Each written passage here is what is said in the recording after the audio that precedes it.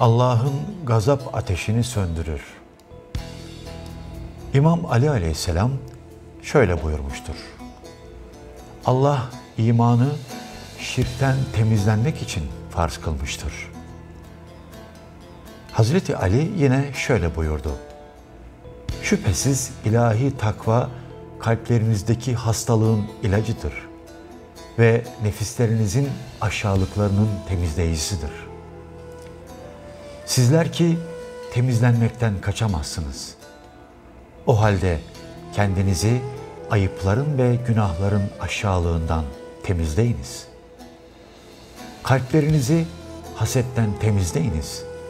Zira çekememezlik kalpleri karartır ve hasta kılar.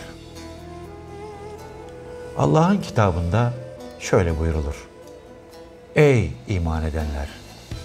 Allah'a itaat edin.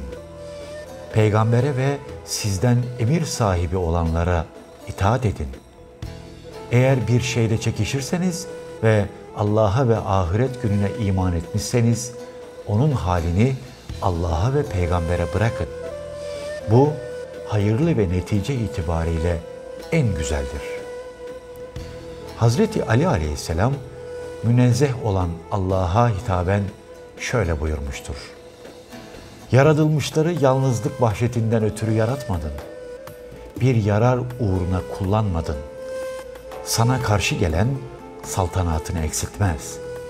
Sana boyun eğen senin hükümranlığını artırmaz. Hazreti Ali aleyhisselam şöyle buyurdu. O mahlukatı yarattı, yarattığı zaman onların itaatlerinden müstani ve günahlarından da güvendeydi.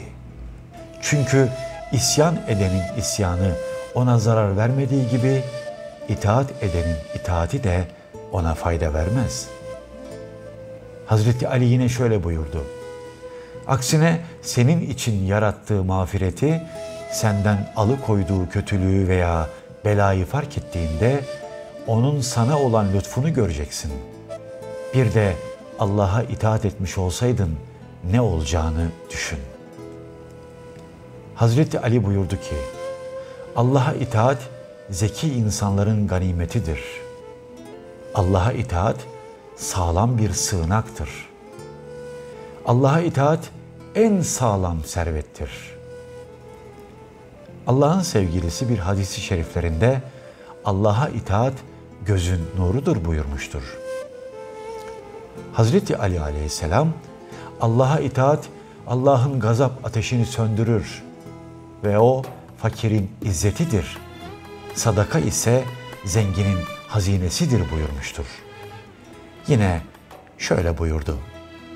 Allah'a itaat her doğruluğun anahtarı ve her türlü fesadın ıslah sebebidir.''